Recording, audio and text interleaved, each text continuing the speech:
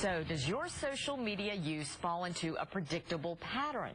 New research suggests that it does. Today we are taking a closer look at social media personality types. Welcome back to 10 News at 5 everyone. Social media is a big part of life for so many Americans and researchers have found that when people engage in social media interaction, they tend to display certain behaviors.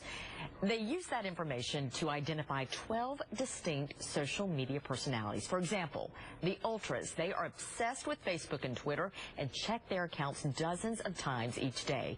Then you have the deniers. They claim that social media doesn't control their lives, but their actions say differently. And then you have the dippers. They access their pages infrequently often going days, even weeks, maybe sometimes months without checking them. And those are just a few of the examples. Bob Wilson joins us now to take a closer look at the different personalities. He's the digital media manager for Moxley Carmichael. Okay, I'm going to put you on the spot. What are you? I'm probably a combination between an informer, I like to show people stuff, and a quizzer, which is a person who asks questions. I like to do that just to kind of get a conversation started. Okay. So are, do you think these personalities are pretty spot on and accurate? I think they are. I think one thing that social media allows people to do is be more of what they are. In other words, I think it amplifies because it's so easy to do and it's so it's relatively anonymous. Your name's on it, but it's not really you. So I think it it really amplifies a personality. Okay, let's talk. Let's start out talking about the ultras. Just how common is that? I would think, if I'm just a guessing kind of gal, that it's pretty common. I think it's pretty common, and like we were talking about a minute ago, with my phone always tapping me on the shoulder, telling yeah. me that I've got a Facebook update or a Twitter message, uh, it's hard to get away from it. Yeah. Okay, and let's talk about another one called the ranters, and yes. I think we're aware of the ranters. I think we all know a ranter. Yeah.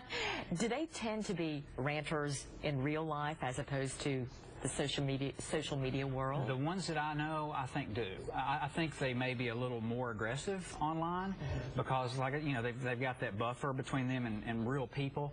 But I do think that uh, that they are that way across the board.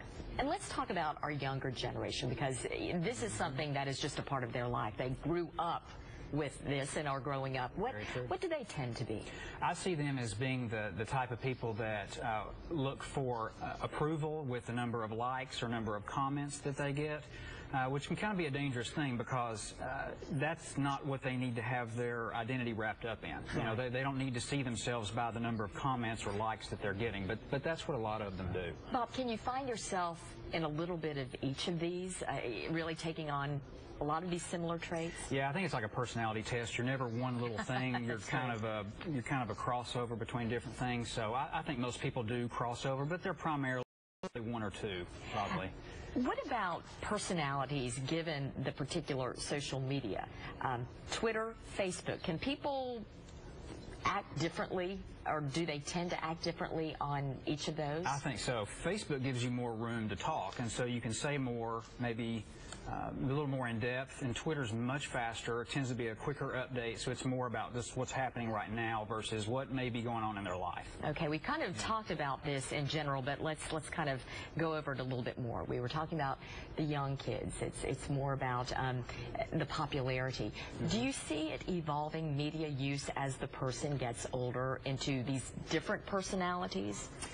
That's a good question. Um, I can see that happening. Uh, I think different things will start to come up. We've already seen Instagram kind of pop up, and that's what the kids are using a lot of, and yes. the, the adults are more on the Facebook side. So I think different tools will come along that they'll be that they'll move to, and I think as they get more reflective and not as immediate in life, they'll move to something that they can maybe talk a little bit more about their life and not just what's happening right now. All right. I'm going to study all the different categories and see where I fall in them. Good idea. Dipper, I know is probably one of them. All right, Bob, it's always great to see you. Thanks Good so much. Appreciate your information, and we are coming back right after.